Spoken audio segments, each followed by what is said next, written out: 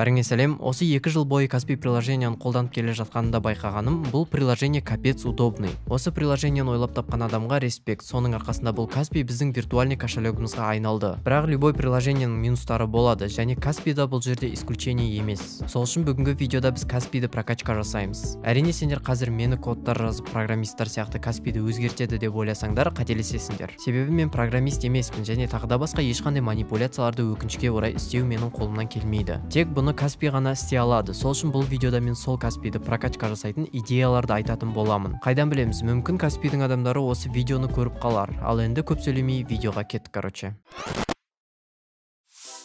Давайте сендер түсіну үшін просто қысқаша история айтып кетейін. Каспи қалай пайда болды? 1991 жылы алматыда халықаралық аль барака қазақстан деген банк ашылады. Сосын заңдағы өзгерістердің әсерінен 1997 жылы бұл банк каздорбанкпен бірігеді сосын аты банк каспийский болып өзгереді. Ал біздің үйреніп қалған каспий деген атты 2008 жылы алады. 2019 жылға дейін каспий қазақстанның территориясында ғана жұмыс істейді. Тек 2019 жылы бұл банк әзірбайжанға шығып каспий онлайн объявление салатын сервистер ашады. Сосын каспий банк көптеген жетістіктерге жетіп 2020 жылы бизнес кредитованияны іске қосады. Бұның барлығын неге айтып отырмын десеңдер қазіргі каспиге дейін бұл банк қаншама экспериментирование жасап банкқа жаңа технологиялар ойлап тапты. Солардың ішінде ең табыстысы қазіргі біздің қолданып жүрген технологиялар. Мысалы оның ішінде каспи kz деген мобильный приложение. Бұл приложение көптеген технологияларды өзінің ішіне біріктіреді. Олар каспи мапс каспи переводы каспи голд каспи шоп деген сияқты. Және тағы да жаңадан шыққан каспи объявление каспи qr иә каспи qr тек қана 2018-де пайда болды. Және осы технологиялардың барлығы каспиде 2020 жылы пандемияның арқасында көп танымал болды да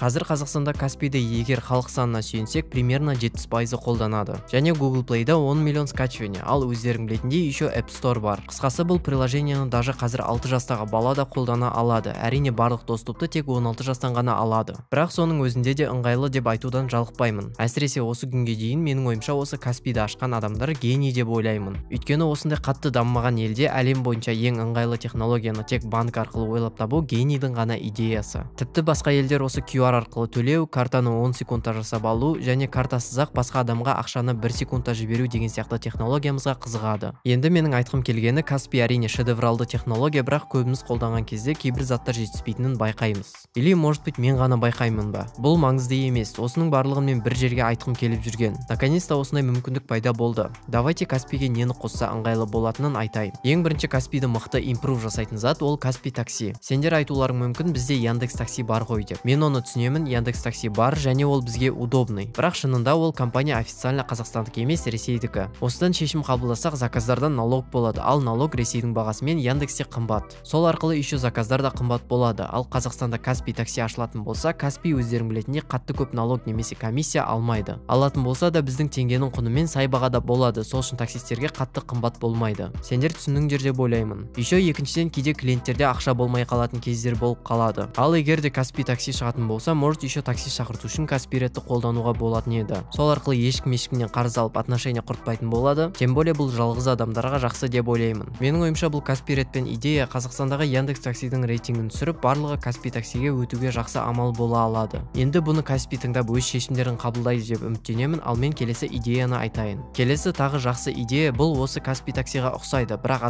тасу емес заттарды тамақты тасумен айналысатын сервис ашу. Яғни каспи доставка глово вольт деген сияқты. Бұл да менің ойымша каспи такси сияқты каспи ретпен заказ беретін жағы ыңғайлы болады. Сонымен қатар егер де осы приложенияның барлығы бір каспи приложенияға біріксе керек емес приложенияларды телефоннан удалить етіп тек каспиді қолданатын едік. Әрине мен айтып жатырмын айтып жатырмын. Бірақ каспидің серверлері бұларды көтеретіні белгісіз. Қысқасы каспи доставка жайлы айтсам ол шықса да менің ойымша бәрібір басқа глово вольт деген сияқты сервистер қолданыста болатын сияқты. Себебі қазақстанда тамақтар түрлі заттар сататын магазиндер дофига. Ал каспи оған үлгермейтін сияқты. Білмеймін менің ойымша солай. Қысқасын айтқанда сендер түсініңдер. Әрине бұның барлығы жақсы бірақ барлығымыздың смартфонымызда тағы да ыңғайлы приложение бар. Бірақ оның мағынасы болмайтын сияқты сонда да айтайын. Каспиге тағы да тугистің google картаның аналогын жасаса болады. Яғни каспи карты немесе каспи мапс тек қазіргі каспи мапста терминалдарды көрсететін болса бұл каспи мапста маршруттарды зданияларды көрсететін болады. Бұл менің ойымша қатты ыңғайлы болады деп айта алмаймын. Ойламаймын себебі и так та google карты мен тугис бар. Бірақ хотя бы өз еліміздің сервисі болады. Жарайды сендер түсіндіңдер деп ойлаймын. Видео әрине өте қысқа болды. Бірақ осы видеоның басты мақсаты мен бұрыннан бері айта алмай жүрген заттарды хотя бы өзімнің каналымда айту болатын. Видеоның көп просмотр жинауына қатты үміттенемін. Егер де видео ұнаса лайк басып каналға тіркеліп кетіңдер видео аяқталды. Давайте короче.